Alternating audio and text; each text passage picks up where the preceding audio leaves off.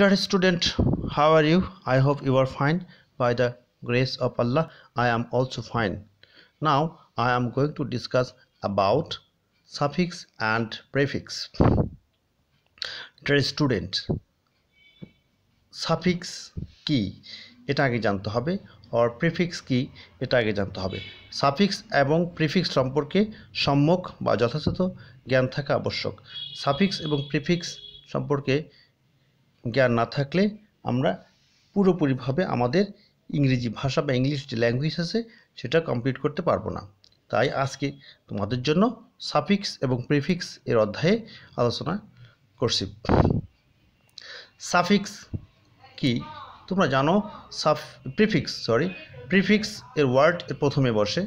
প্রিফিক্সগুলো কি কি? এটা আগে জানতে হবে। প্রিফিক্সগুলো জানা প্রয়োজন। প্রিফিক্স শব্দের মূল শব্দের প্রথমে বসে নতুন নতুন শব্দ প্রদান করি। তোমরা জানো বেসিক্যালি এদের কোনো অর্থ নেই। এদের, অর্থাৎ মূল ওয়ার্ডের সামনে বসে নতুন শব্দ প্রয়োগ করে। এটি হচ্ছে এদের কাজ। তাহলে আমরা সাফিক্স প্রিফিক্সগুলো জেনে নিই। I R ir I L il I M im I N in D I S dis M I S mis U N un non A N E N এবং বি মাল্টি ওভার এই জাতীয় word শব্দের প্রথমে বসে এবং মূল শব্দের প্রথমে বসে শব্দের অর্থই চেঞ্জ করে দেয়, অর্থাৎ নতুন শব্দ তৈরি করে। এবার আসি সাফিক্স আমরা এক্সাম্পলে যাই সাফিক্স দিয়ে প্রিফিক্স দিয়ে। যেমন এখানে আমরা যদি লিখি লিগ্যাল এখানে আছে আই আর আই আর যোগ করে আমরা একটা শব্দ গঠন করব। রেশনাল রেশনাল এখন আই আর যোগ করলে কি হয়ে যাবে? ইররেশনাল ইর রেশনাল এটা হলো যৌক্তিক, প্রাসঙ্গিক, এটা হচ্ছে অপ্রাসঙ্গিক, অযৌক্তিক। তাহলে আই আর শব্দ নেগেটিভ শব্দ প্রদান করেছে। এরকম। হুম। যেমন আন নন। নো মানে কি জানা? নন মানে কি জানা। এর সাথে কি? ইউএন লাগিয়ে দিলে কি হবে? বা বসিলে আননন অপরিচিত। অর্থাৎ এভাবে শব্দের প্রথমে বসে। সাফিক্স কি? সাফিক্স ওয়ার্ড এর, আমরা জানি সাফিক্স ওয়ার্ড বা মূল ওয়ার্ডের পরে বসে নতুন নতুন শব্দ গঠন করতে সাহায্য করে। সাফিক্সগুলো কি কি? Tion T I O N.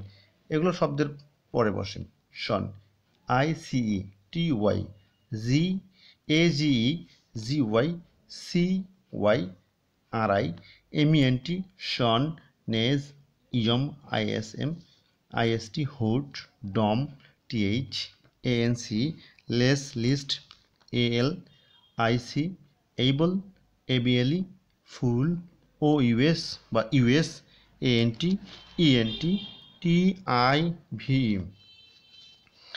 S I V O R R E R L Y E D E N F Y I Z E এবং ফাইনালি শিপ এই ওয়ার্ডগুলো আমরা জানি শব্দের পরে বসে নতুন শব্দ প্রদান করে।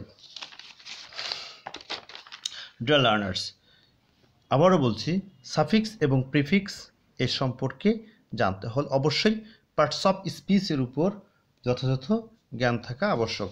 পার্টস অফ স্পিচের উপর জ্ঞান না থাকলে সাফিক্স প্রিফিক্স ভালো করে বোঝা যাবে না।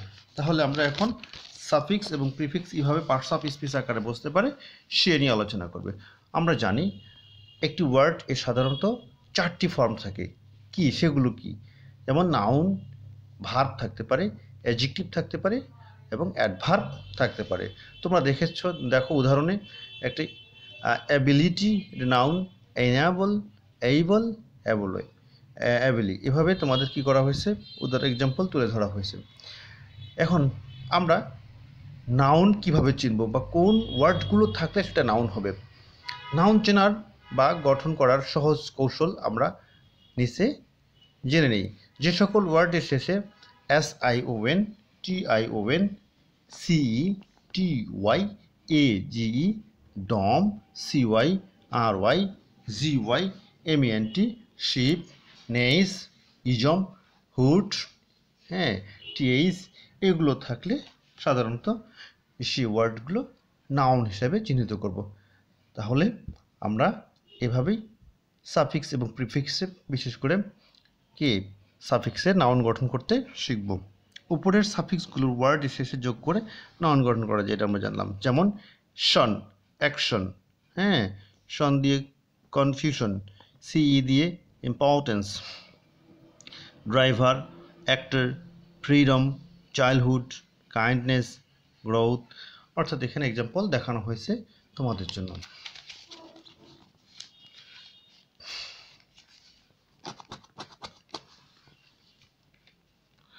আচ্ছা এবার কীভাবে অ্যাডজেক্টিভ গঠন করা যায়, সেই সম্পর্কে আমরা আলোচনা করব।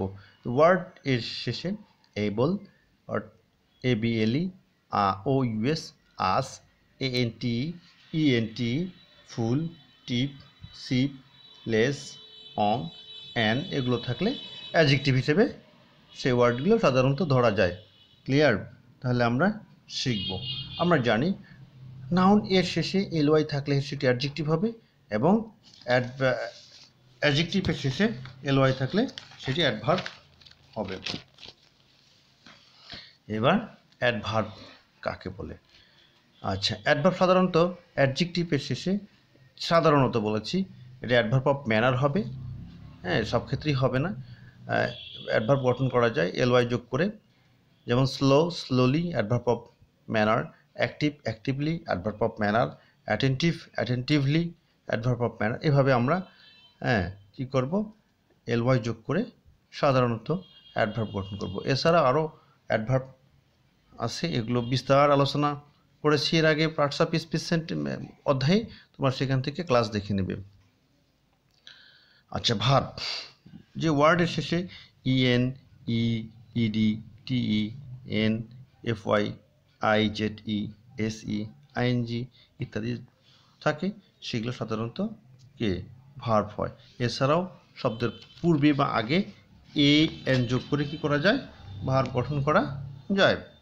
এছাড়াও যে ইএন ই আর এগুলো কি? যোগ করে ভার্ব গঠন করা যাবে। যেমন অ্যানলার্স অ্যানলাইট অ্যাইনাবল রিমুভ রিনিউ ইত্যাদি ইত্যাদি হ্যাঁ তাহলে এগুলো ভালো করে জানতে হবে।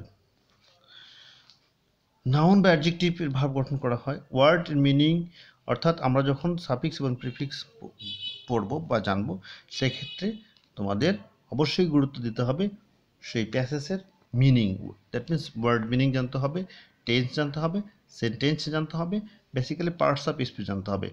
হ্যাঁ পার্টস অফ স্পিচ বা এই উপরের আলোচনা ছাড়া সাফিক্স এবং প্রিফিক্স সম্পূর্ণ করা সহজ হবে না।